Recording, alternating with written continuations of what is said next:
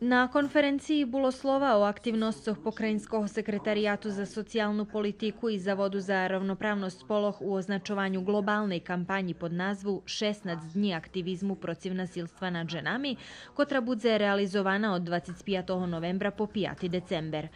Ti aktivnosti predstavila medzi inšim i pomocnica u sektoru za demografiju i ravnopravnost spoloh Svetlana Selaković. Jedna od Jedna zo z naših aktivnostcoh i programa ekonomskoho zmocnjovanja ženoh, kotri crpeli nasilstvo.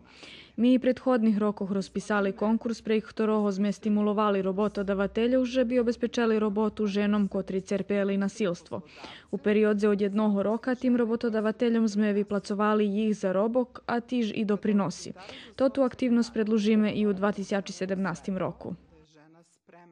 Zavod za ravnopravnost spoloh okončal vyhľadovanie i zaključal, že ženi kotri žiju na Valalje, a kotri cerpja nasilstvo, často njemaju informaciju o číslu telefona za pomoc, a veli njemaju ani možljivost prizdova rošu.